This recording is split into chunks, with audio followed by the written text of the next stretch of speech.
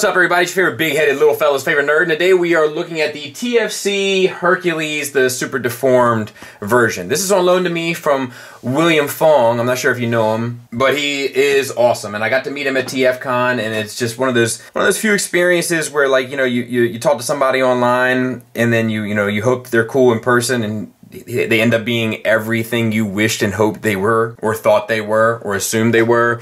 Very, very, very cool dude. He let me take a look at these. Uh, he also put his head on my shoulder, and I'm not, if you don't know the guy, he's got a beautiful head of hair. He put his head on my shoulder, and I wish I could find that T-shirt. I, I just I didn't care about it at the time, and I discarded it, and it's probably end up in the wash. You know, I have no clue where it is. What? This is this isn't it. It's not it. It's another. It's not it. So anyway, we'll start with vehicle mode.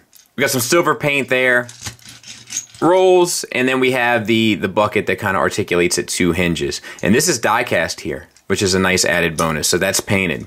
Looks good. These guys don't transform into robots, which I find a little weird, but we just turn this around, you fold this up, and then you bring the arms, you know, what would be the arms down, and that is the leg. This fella, we got some silver paint here, some red paint for the headlights that looks pretty cool. And then we have this piece which is die cast and does swivel a bit. And underneath we have some silver detailing some red brake lights. This you just bring out on this double hinge and turn around. This is your ankle rocker. And this guy's done. Actually, no, you got to flip that piece down. This guy, this is die cast here. This might be die cast here, this piece as well. Some silver paint accents, some gray, green paint, obviously, possibly black, I think. I'm not sure. And then this piece, and it does have the working pistons, which is cool. Red painted details. They're a little outside the lines, uh, especially this one and this one. They weren't lined up quite right. Silver paint in the back, and then some yellow paint details on the side there. So actually a fair amount of little accents for, for this little piece. Spin this around and fold it up. Spin this around this becomes the shoulder piece, and then you take your parts forming piece, so this will go like this, and you plug the arm into there, and then that's all done. This one, we got die cast here, working pistons as well, some silver paint accents, some black paint accents on the window. This does articulate a bit, even rolls, yellow paint accents, decent enough, I'd say. Uh, the, the, the transformation for this one was quite complicated uh, try to keep up. So this comes around like this, and then this inserts into there, and you're done. And then we have hook, and does this extend? It does. What a nice little added bonus. And we have this, I feel like this should do something. These articulate. You know, it feels like these pistons should do something, but I'm not exactly sure what that something would be.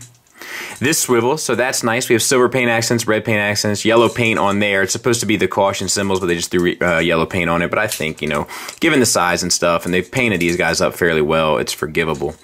Might be some, uh, it feels like plat. Oh, look how far that extends. That's pretty nice. That's pretty nice. And then to transform this guy, it has these two things. I'm not entirely sure why. I can't seem to figure out a reason for them. I don't know. But this comes around like this, this spins down, and this folds down. And that's pretty much it, I believe. These plug in, and then you bring out these for the arms. Now, it does have a parts forming piece that we'll add, which is this. These articulate here on little hinges, so that's nice enough. And this just plugs in to there. Long haul is a little less graceful. We have some silver paint, some styrofoam stuck in there and there. It says styrofoam packaging. The I'm not sure why they went with the the black bed there. I'm not sure that was the right choice either, but whatever. The paint on it looks good. The silver, the red, and the black. Transformation, flip this up. Flip these two pieces up. You got to bring down this whole piece here. It's on a ratchet, and it's a Henri sucker and then get the the legs turned around. And there you have that, and then this piece just slips down onto the back, and then that stays up like this. All right, so let's build them. This comes up, this comes up. Actually, let's connect this first. That tends to be the best way to do Devy. So these two pieces insert into there, And then into there, into there, arms, into there, arm, into there. This came out, it just plugs back in. Fear not, Mr. Fong. All right, so we'll set him up. The head has two tabs here and two corresponding slots. And we'll plug that in. and that's pretty cool. I mean, it's ridiculous, but it's pretty cool. I'll get him cleaned up. We'll take a look at him and we'll talk about a few extra accessories.